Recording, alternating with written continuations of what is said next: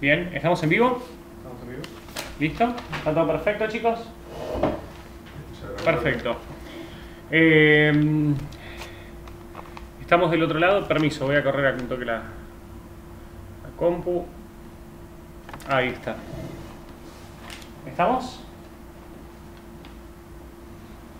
Alfonso. Sí. Sí. ¿Estamos? Perfecto. ¿Cómo andan? ¿Cómo están todos del otro, lado? Bueno, pedimos disculpas por la demora. Estuvimos arreglando algunas cositas de, de la transmisión. Cosas que, que pasan. Primero que nada, agradecerles a todos los que están del otro lado porque nos están eligiendo a nosotros, habiendo tantas posibilidades, sobre todo posibilidades nacionales. Los chicos creen que están en una fiesta, por eso están charlando y todo. Hoy estuvimos trabajando muchísimo eh, para llevar adelante esto y también con Data 24 cubriendo las, las elecciones. Bueno, algunos datos, porque del otro lado estaban todos muy locos, alterados, gritando. A ver, vamos a hablar primero del caso de Marcos Peña, pero primero vamos a hablar del caso de Lilita. Lilita, lo que pasó hoy en los medios de comunicación, lo adelantó hace dos semanas. A esto lo adelantó hace dos semanas a su tropa interna. Les dijo que los medios a las 6 de la tarde iban a dar como ganador a Alberto Fernández por una amplia diferencia. O sea, todo esto ya estaba programado. El videograf que salió hoy en TN a la tarde, que a las 2 y media, diciendo que el 85% de las mesas estaban escrutadas eh, y que Alberto ganaba con más del 50%, al fin y al cabo, no fue un error. No estaban probando datos. Le salió mal. ¿eh? Después, el tema de la boca de urnas. ¿Por qué no hacerle caso a la boca de urna? Porque a las 6 de la tarde empezaron a dar datos y no se conocía nada. A las 6 de la tarde había gente votando. No solo las escuelas aquí en Argentina, sino las embajadas. O sea, argentinos fuera de nuestro país estaban todavía votando y acá ya se hablaba de una boca de urna, una locura total. Ahí estaba Marcelo Bonelli haciendo esas buenas operetas que él sabe hacer como hace años viene haciendo. Bueno, lo bueno para Cambiemos. ¿Qué es lo bueno para Cambiemos entre tanta locura? Que Macri, en muchas provincias donde están dando un buen número según nuestras fuentes, eh, había perdido los pasos. El caso, por ejemplo, eh, tenemos datos de Jujuy. Habría aumentado 9 puntos con respecto a las pasos, Mauricio Macri. Eso es un buen dato. Después en Mendoza, ganando Macri, mejoró significativamente con respecto a las PASO también en esa provincia. En Córdoba, atención con Córdoba, atención con Córdoba, sería histórico casi el triunfo de Mauricio Macri en Córdoba. Esto no quiere decir nada. ¿eh?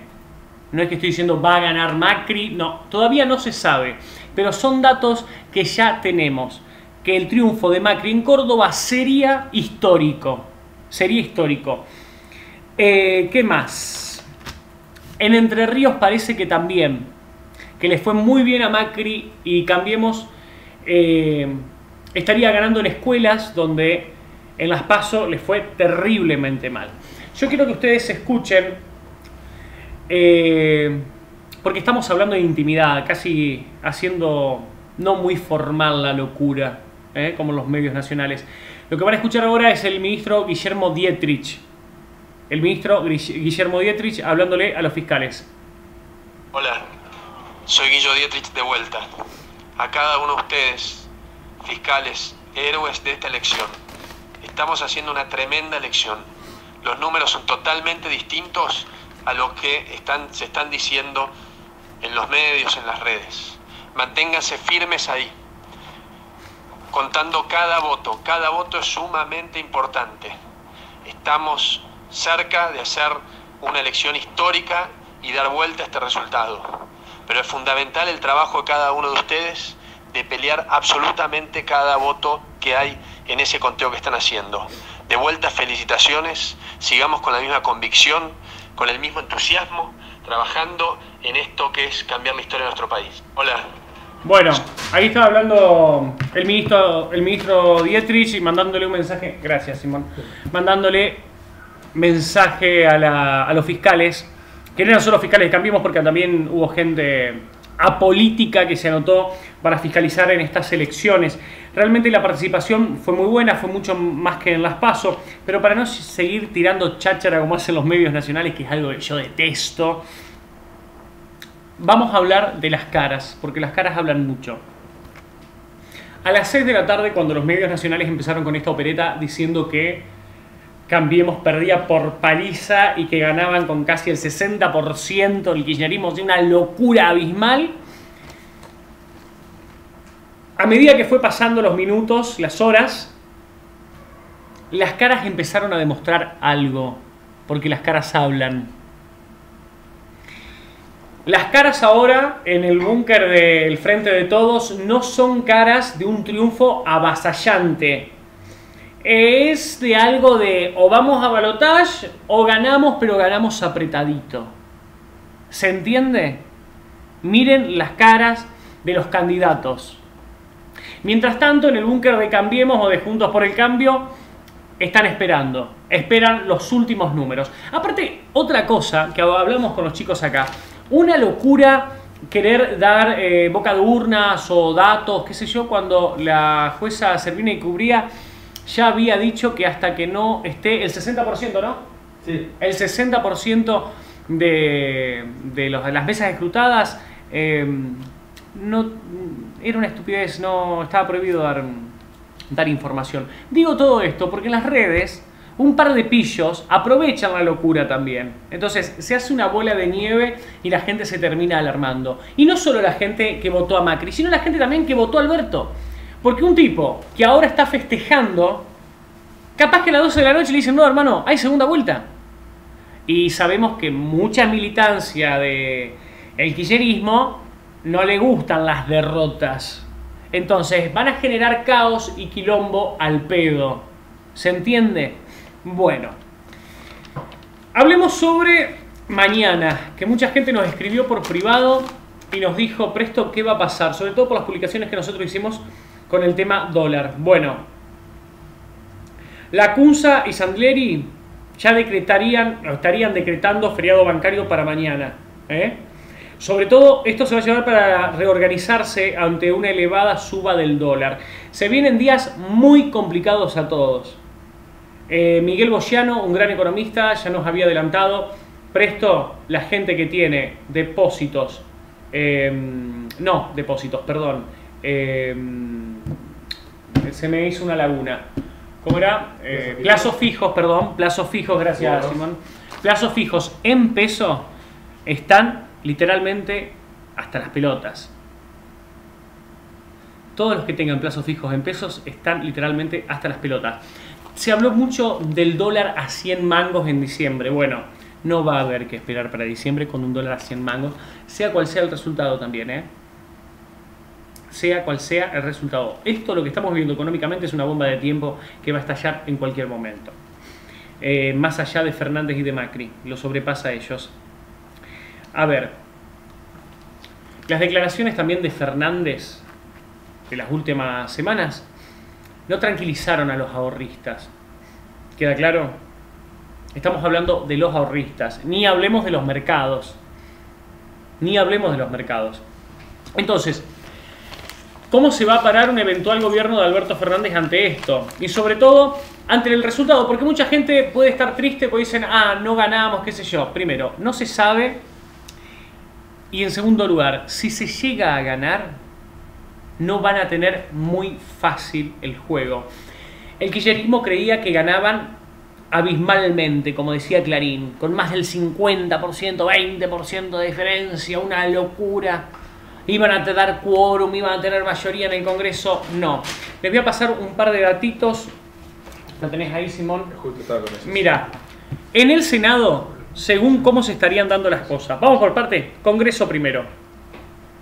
Mira, ¿cómo quedaría? Con un 38-39 de Mauricio Macri y un 47-48 de Alberto Fernández de Cristina Kirchner.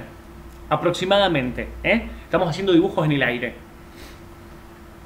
El Senado tendría 34 senadores del kirchnerismo y 28 senadores de Junto por el Cambio. ¿Se entiende? En diputados, 118 diputados K y 114 diputados de Junto por el Cambio. O sea, hay muy pocas diferencias en ambas cámaras. ¿Entienden? Muy poca diferencia. O sea, el kirchnerismo creía que iba a volver iban a tener mayoría, iban a hacer lo que querían. Bueno, si se dan estos resultados, no van a tener mayoría, van a tener que empezar a hablar y van a tener que hacer un gobierno democrático, porque la oposición va a estar firme. Las redes van a estar activas y el kirchnerismo no tiene el poder en las redes sociales, con lo importante que son las redes sociales. Desde el 2013 al 2015, las redes sociales le marcaron el paso al kirchnerismo en las calles. Ustedes recordarán todas las marchas. Eh, y van a ver, va a haber una oposición fuerte. Espero que después los egos y las estupideces no desquebrajen a una oposición en estos resultados que hemos hablado. Con estos resultados. Con estos resultados. ¿Qué va a pasar con estos resultados, Alberto Fernández presidente? En materia económica, bueno, va a tener que ser un presidente que se pare frente a las circunstancias históricas. No va a poder, no va a poder hacerse el gran peronista Va a tener que pararse en el centro. Porque va a haber una oposición consolidada, la gente en las calles, las redes sociales activas.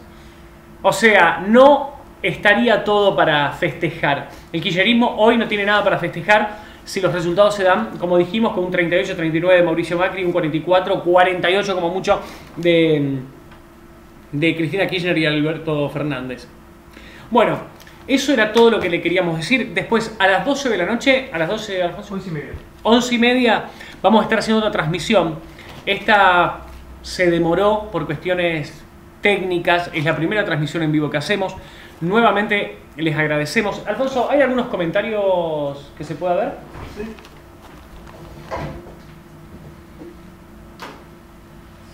A ver, eh, em, ah, se trabó la transmisión. A ver, ¿se trabó la transmisión? No, no, no, no. Bueno. Bueno, en fin. Queremos agradecerles a todos los que están del otro lado y... Mm, se cayó internet. ¿Internet acá? Bueno, se cayó internet. Bueno, no importa, son cosas que pasan. La primera transmisión era obvio que iba a pasar y estas cosas. Por lo general, una primera transmisión o un primer lanzamiento de algo, siempre hay algún problema. En fin, les agradecemos a todos y once y media vamos a estar de nuevo ya con más datos precisos. Por eso les digo, les repito, no se enloquezcan, por favor. Dejen de escuchar a los medios nacionales. Por Dios, dejen de escuchar porque le están quemando la cabeza. Eso fue todo. Muchísimas gracias. Puede venir a cortar. Nos vemos.